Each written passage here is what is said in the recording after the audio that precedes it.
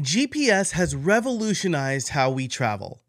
Before, we'd consult a map, plot our route, and drive, usually needing a co pilot to navigate.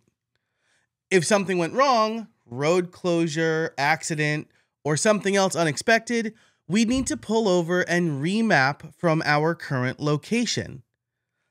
But now, with GPS, we get turn by turn directions announced to us using real time traffic data that automatically reroutes us, making sure we have the best possible trip. Podcast analytics are the same. Without them, you're just guessing about your best path to grow your show. But good analytics can provide you with real time data on your show's performance, allowing you to make adjustments faster. And with RSS.com, you get industry leading, state of the art, cross platform analytics. Our analytics dashboard provides you with easy to navigate audience insights that you need to grow. You can identify peak listening times, popular episodes, and audience hotspots. With the data at your fingertips, you'll be able to make informed decisions to boost your podcast's reach and engagement. Let's look at some quick facts. Number one is you get real time data. You get live updates from all across the globe. Number two, you get cross platform insights. You track your orbit across all major directories like Apple Podcasts and Spotify. And you get audience demographics. You can learn the location of your listeners and the device they're using to tune in. You can use this information to make better decisions about your show.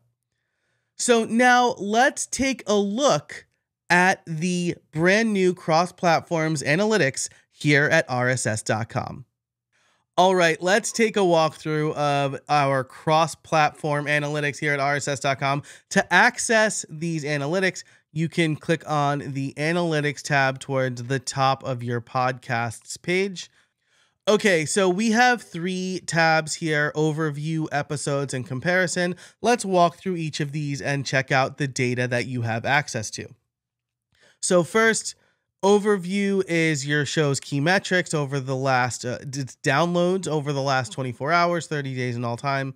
We also have the rolling average subscribers. While it's not currently possible for podcast hosts to get the actual subscriber or follower numbers, we have some math in place to estimate the number of followers or subscribers you have based on the immediate downloads within a certain time frame for the last several episodes. So, we're always trying to calculate our best guess at the number of subscribers that you have.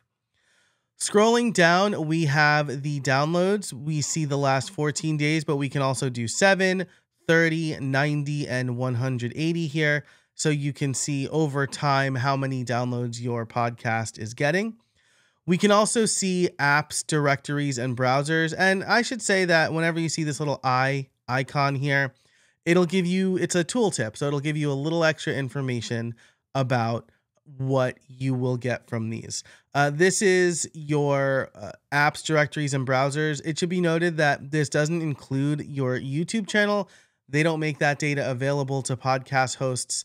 Knowing that, you can see all of the other apps and directories that you have here. We also have the top five cities.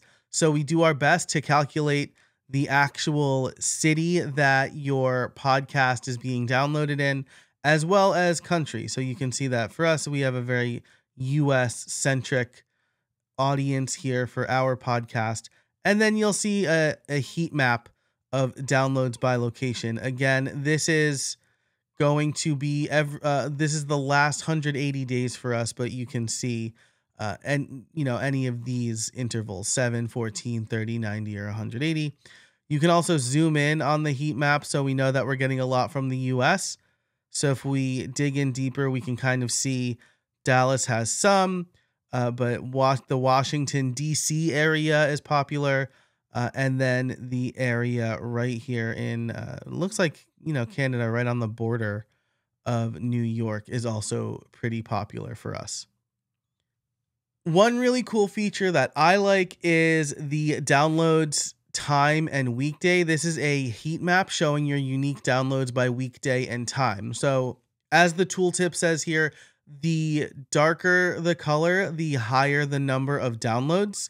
You can see that it looks like on Saturdays at 9 a.m. we is the darkest. So maybe we want to try to publish our new episodes around then because that's when our audience is most actively looking for those episodes. So we want to put it in front of them so that it maybe if we're publishing on Mondays, Mondays not a very good day for us and we won't want new episodes to get buried so we can publish closer to when our audience is most active.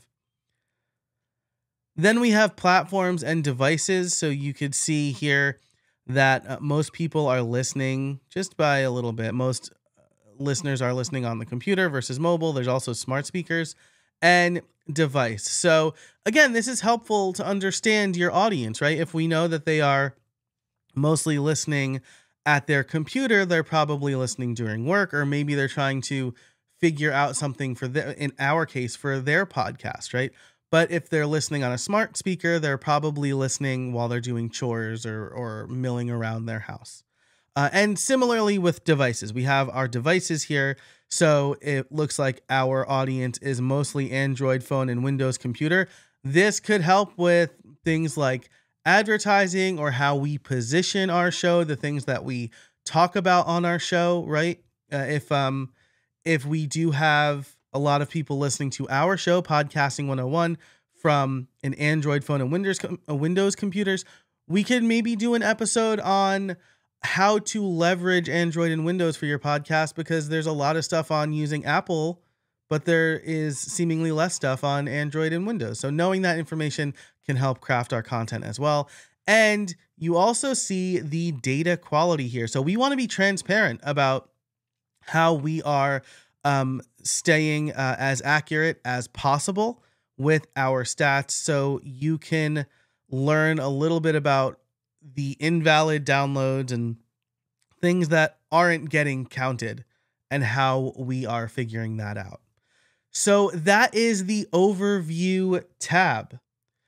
If we go to the episodes tab, we will see similar data sorted by episode. So the first thing that we'll see here is our episodes how long and how many downloads.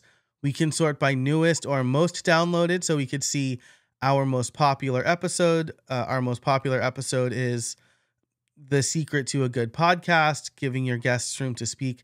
And so we have this list of downloads or episodes. And then if we want to click through to view details, we can see the latest for the this episode specifically. So Again, we have the crucial stats under downloads, uh, 24 hours, 30 days, and all time.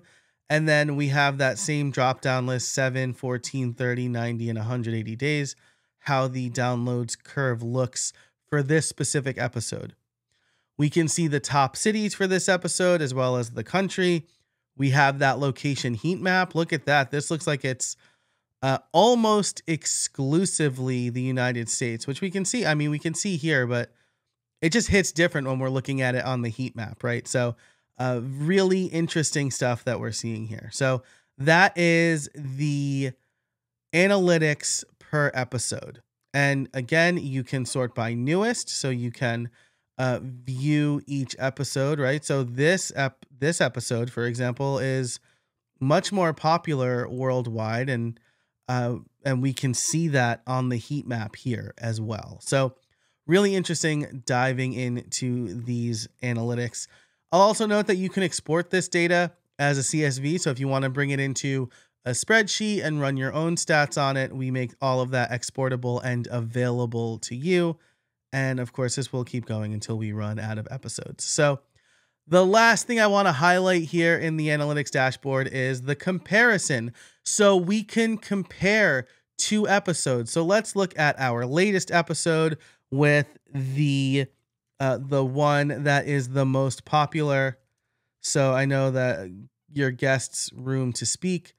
So we can see here that uh, 90 days we see 7 days after release, 14 days after release, 90 days or 30 days after release and 90 days. This is this is different from the other drop downs, but we can kind of see how these episodes perform over time and you can see that it looks like at the 7 day mark is really when this episode uh, our the secret to a good podcast episode took off. So if we look at 90 days, uh, you could see that there's a dramatic difference in the growth of these two episodes. So uh, we can see kind of how, again, each one is performing. We know that this is the most popular one.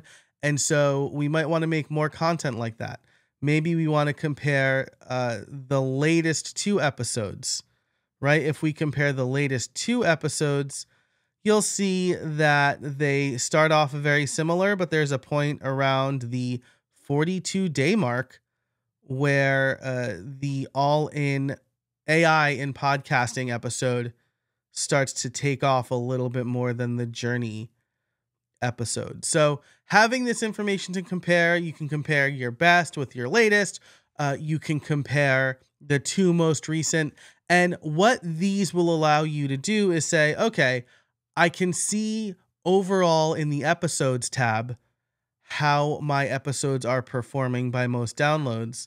But what about if I want to look at two episodes, two recent episodes? Is there a way I could have positioned one better, right? Maybe you have multiple AI shows, right? Or multiple episodes on a on a similar topic and one is doing way better than the other, you can see that growth over time and say, all right, well, I positioned this one slightly differently.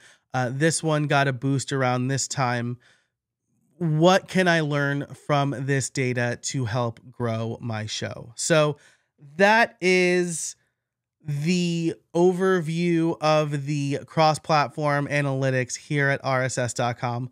Lots of data for you to consider as you look at how you can best grow and position your show from the downloads over time, your rolling average subscribers to locations. Another great thing about location, right, is our top five cities. One is Washington. So if we're thinking about doing a meetup, like maybe a listener meetup, we know, hey, Washington is a great place to host this because most of our downloads come from there. So Lots of stuff that you can do with this data all inside of your RSS.com account in the analytics tab for your podcast.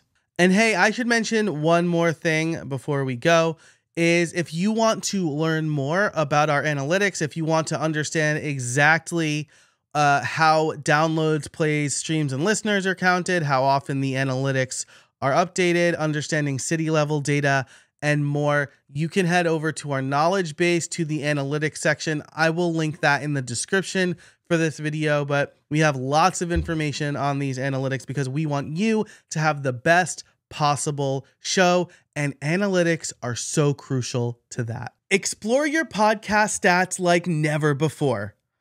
Our intuitive analytics platform turns complex data into easy to understand visualizations. Discover which episodes are engaging your audience and uncover listener patterns and preferences to fine tune your content strategy. Think of them as your personal GPS for your podcast, or as we like to call them here at rss.com, your podcast's mission control.